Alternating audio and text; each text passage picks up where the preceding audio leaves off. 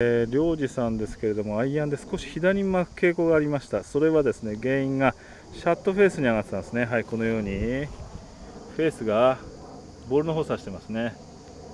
はい、これを矯正してみました。上げてみてください。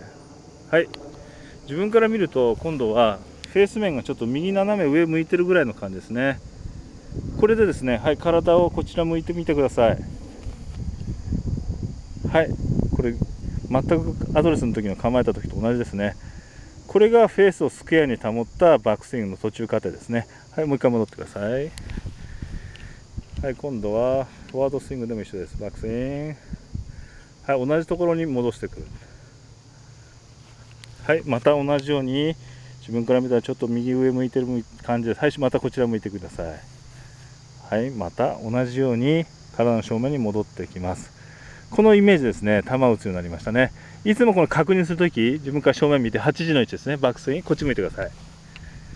はい、バックスイン、8時の位置、はい、正面、はい、また戻って、はい、バックスイン、はい、このダウンスイングです。はい、同じ位置に、はい、このように確認して、フェースがスキア出るか、きちんと確認するようにしてください。それでは打ってみましょう。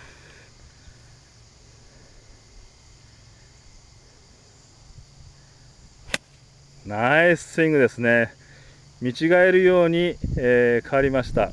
非常にボールも上がるようになりました。ありがとうございました。